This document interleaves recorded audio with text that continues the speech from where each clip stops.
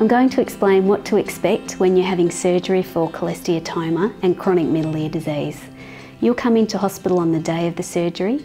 The surgery takes between three and six hours depending on how complex and severe your disease is. You'll stay in hospital overnight and go home the next day. I recommend you have two weeks off work, school and sport.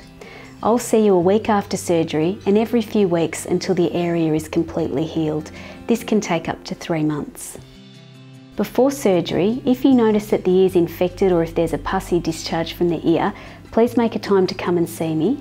If we treat this before surgery and the infection's not there on the day of the operation, you'll have a better chance of healing. The surgery is done through a cut behind the ear and down through the ear canal. When you wake up, you'll have a bandage around the head and an earplug dressing in the ear canal and this will make the ear feel blocked.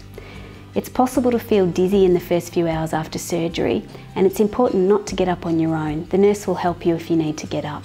You may notice a mild change in taste on one side of the tongue and this is usually temporary.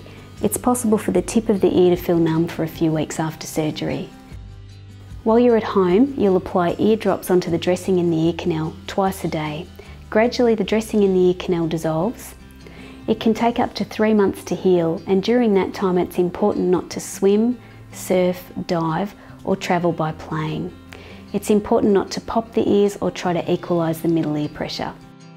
To get the best healing result from surgery, stopping smoking for at least eight weeks before surgery and not smoking for a few months after surgery is important.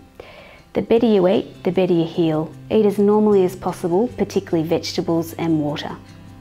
For more information, ask me, my practice nurse, or look at our website.